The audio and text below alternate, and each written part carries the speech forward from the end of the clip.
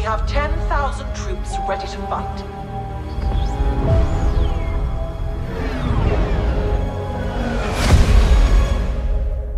Don't let them shake you. Numbers aren't everything.